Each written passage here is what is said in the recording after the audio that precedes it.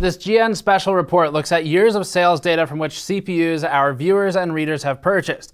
The focus is our audience, and so we're looking at Intel versus AMD sales volume and, to some extent, market share in the enthusiast segment of GN content consumers. Our data looks at average selling price, or ASP, of CPUs, the most popular CPU models from each vendor, and change over a 3.5 year period, and the overall sales volume between Intel and AMD across fourth quarter 2016 all the way through first quarter of 2019 ending in March. Before that, this video is brought to you by Massdrop's Vast 35-inch curved gaming monitor. The Vast 35 is a 3440 by 1440 ultra-wide display with 100Hz refresh and FreeSync compatibility more games than ever have ultra-wide resolution support, and at 35 inches, this monitor minimizes the space used on the desk while maximizing the available screen space.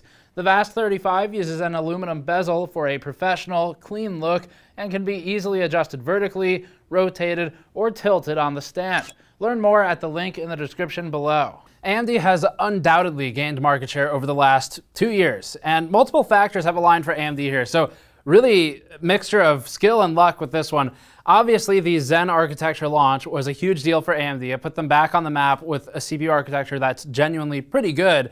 And also, uh, some misfortune for its competitor, Intel, which is dealing with issues like shortages of 14 nanometer supply, inability to hit targets with 10 nanometer, and then overall shifting its supply from the DIY enthusiast space to a lot more OEM and SIs as the company has struggled to keep up with demand. And these factors have all aligned to enable AMD to retake critical parts of the DIY enthusiast market, which our channel represents. So that's what we're looking at today. Any one of these things would have helped AMD coming back from FX, which was really just not successful, especially in the last few years of FX before Ryzen.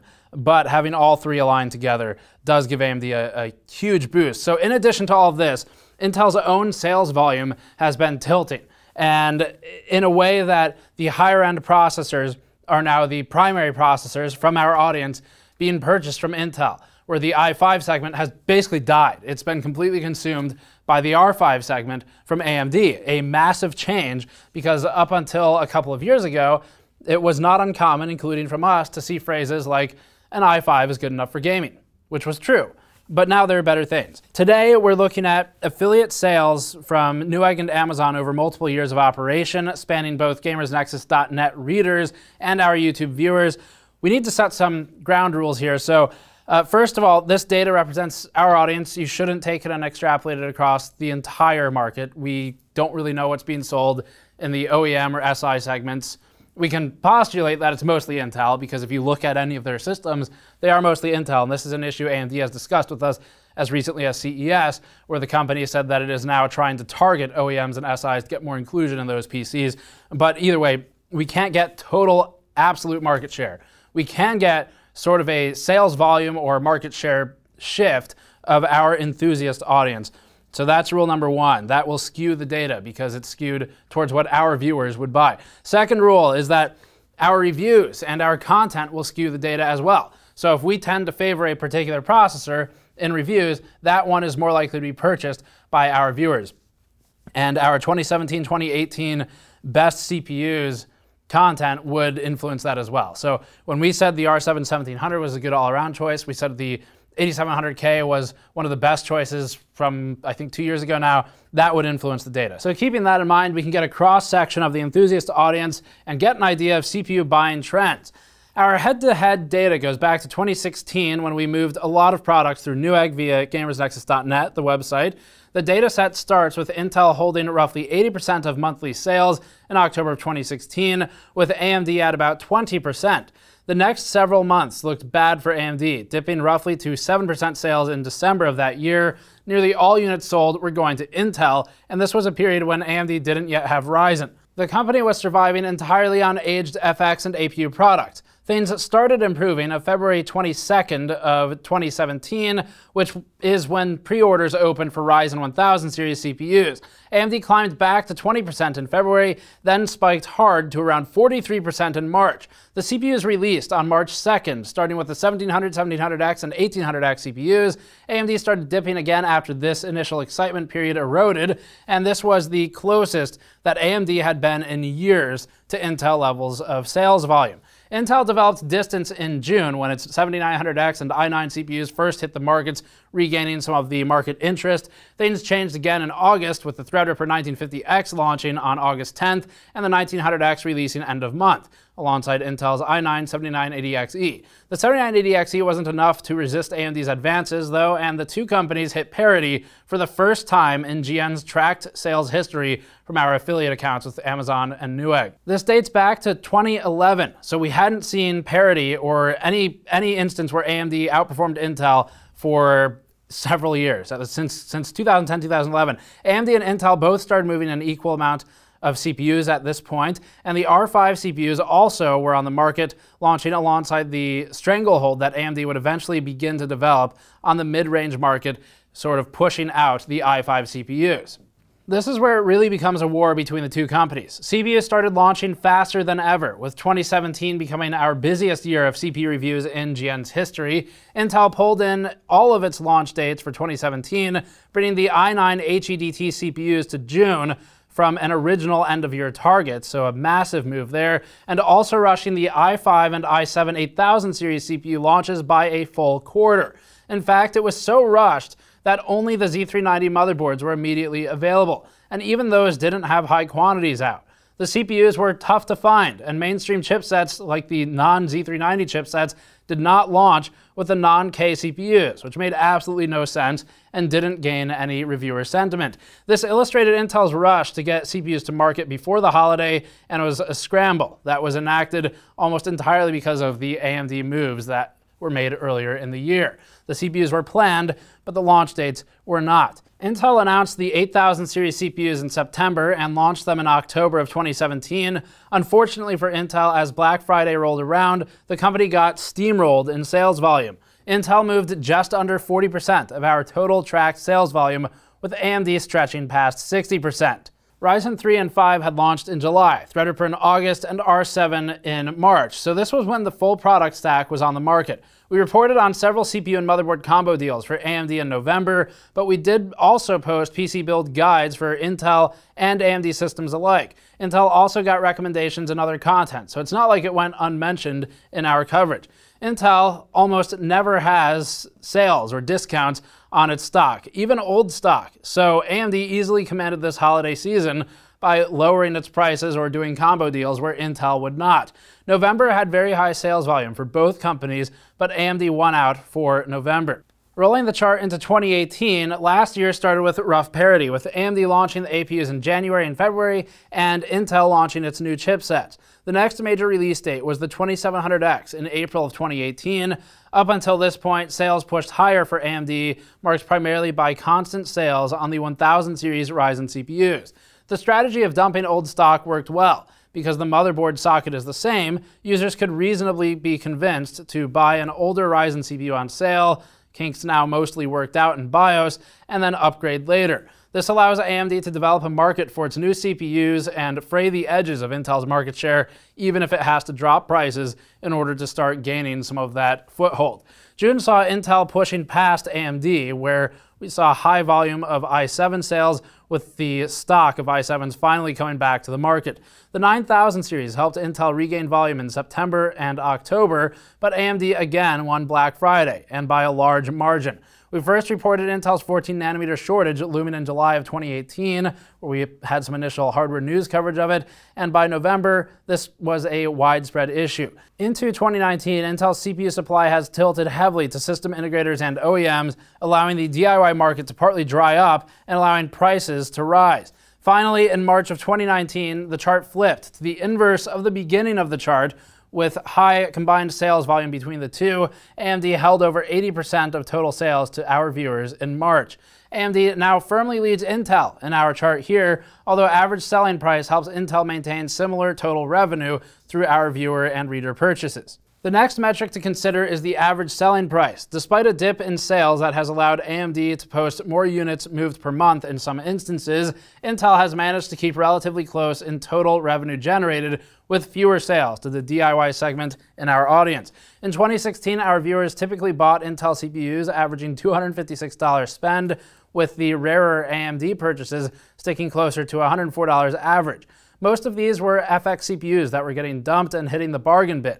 2017 saw ASP increase to $278 for Intel CPUs among our audience, with more users trending toward i7 SKUs, but still a lot buying i5s. AMD's ASP jumped to $273 with the launch of Ryzen, particularly because of the more expensive R7 series. 2018 saw AMD holding steady at around $270 ASP, with Intel massively jumping, even with the large data sets we're now looking at in these later years, all the way to $371 ASP. This isn't just from gradual price increases as new CPUs have come out, but also because Intel purchases have trended away from the Core i5, which was popular in 2016, and toward the i7 instead. That's because AMD is beginning at this point to grab more of the i5 market with its R5 CPUs, something that we recommended heavily when we reviewed the R5s, and thus forcing Intel's ASP up as more users are either going for an R5 or an i7, or maybe an i9. 2019 to date has Intel trending at $410 ASP, with AMD users thus far at $212 for the average selling price. This is a result of continual shortages for Intel and increasing popularity of the 9900K, while AMD has dropped from the still ongoing sales of Ryzen CPUs. CPU series choices have also shifted over the years. For the last quarter of 2016, the i5 CPUs did notably well, combining with the i7s to make up nearly all sales for Intel in fourth quarter of 2016. This was the 6600K era, which is back when both i5s and i7 CPUs were four-core solutions. This is also when most of us were saying, quote, an i5 is enough for gaming so it makes sense to see this split. 2017 changed that to lean more heavily toward the i7, aligning with the 7700K. The i5 remained popular, and the Pentium series gained popularity in the low-end market by undercutting some of AMD's solutions. Where we really saw the shift was in 2018, where processor shortages and shifting focus to the high end resulted in the creation of a new market in the i9 segment, particularly with the 9900K. 2019 further solidifies the reduction in i5 sales as i9 moved to take the place of i5 and i7 CPUs in popularity. Again, this is for a few reasons. One is the CPU shortage and Intel's shifting of processor inventory towards system integrators, but the larger change is that AMD has taken most media recommendations for the mid-range market. At GN, we typically recommend an R5 over an i5 in most use cases, and we're not alone. If people buy Intel, it's trending toward higher end, more expensive parts by the company, whereas AMD has a wider spread across mid-range part selection. Moving on to the AMD chart now. The AMD chart shows the limited selection in 2016, where we primarily reviewed the APUs that AMD had that year and whatever FX CPUs were left. So it makes sense to see that A10 purchases were high. That's mostly what we were covering. Most of the visitors that landed on AMD CPU reviews on our site were reading about the APU performance, and so we're more likely to purchase something like an A10. Either way, it's not like much else was available outside of FX or APUs. In 2017, we saw the split most heavily favor the R7 CPUs at over 40% AMD total sales volume, with the R5 ranked the next highest at over 30%. The R3 held about 11 to 12% sales volume, with Threadripper making up about 8% of sales volume for AMD. FX had a surprisingly high distribution in 2017, but was on the way out. This distribution of R7 to R5 is fairly healthy, and across the entire stack, we get a predictable scatter of samples for AMD. AMD did well to push more units at its high end, and this continued into 2018, except that the R5 captured more sales from the R7 CPUs and the dying FX CPUs. The R3 CPUs trended down as they became more focused on Raven Ridge, and Threadripper posted stronger numbers from another release and constant sales of the 1950X and 1920X. 2019 has shown a more even split between the R5 and R7, pulling market share away from Intel's i5 segment. AMD is really picking up steam here, finally. Intel needs to get more CPUs out the door. First of all, it needs to fix its shortage issues. Secondly, Intel needs to strengthen its offerings in the mid-range market because right now an i5 is just it's really not compelling in almost all cases. The R5 is typically cheaper. You get something like a 2600, 2600X maybe. It does well in a lot of applications, does better in things like Blender on average than Intel. It's competitive enough in games that for the R5, it's more justifiable to sacrifice a little bit of potential single thread performance for the balance that you get. Whereas in R7, there's fiercer competition with the i7s, the i9s. And so Intel, to really regain that market segment it once held dominantly, the i5 segment, it has to release a more convincing offering. And it's an interesting strategic play where AMD is uh, constantly putting its CPUs on sale. So even if there's lower margin, AMD is doing well to capture more market. And in a world where up until recently AMD was just simply not trusted to make a CPU, it's important to make sacrifices like margin to just try and bring more people on and get them accustomed to the new Ryzen processors and try to convince people that look, this thing actually works. We're serious this time. This isn't another bulldozer product. So it's it's good strategy from AMD, and it's allowed AMD to to really start shifting that sales volume chart. So the longer Intel sacrifices its made its mid-range market and the mainstream market uh, for gamers, the lower the sales volume will be overall. Because i7, i9, although Intel is doing well there, ASP is trending up for them it's also not high volume, or at least not as high volume. So what we're left with is Intel's average selling price is going up, but that's not just because some of the prices have gone up, like the uh, the 9900K, which is clearly more expensive than previous flagships. It's primarily because fewer people are buying lower end CPUs from Intel. Pentiums, for example, used to be fairly popular, and the G35, 3568, whatever it was called, the G4560, those CPUs, uh, 5600, those were fairly convincing CPUs. And in a world where Intel's got constant shortage issues, they're not really being made anymore. The 5600, the 4560, they were often 80 to $90, and so no one bought them. But when they're supposed to be $60, they're pretty compelling. So this is Intel's conundrum right now, and AMD has seen higher volume uh, overall, moving to our viewers and readers in the first quarter of 2019. So uh, that's it for this one. Thank you for watching. If you want to support efforts like this, you can subscribe to us to catch more videos, or you can go to store.gamersnexus.net to pick something up, like one of our black and blue mouse pads, or white and blue if you prefer, or our GN cobalt blue beer glasses. Store.gamersnexus.net for that, or patreon.com slash gamersnexus. Thank you for watching. I'll see you all next time.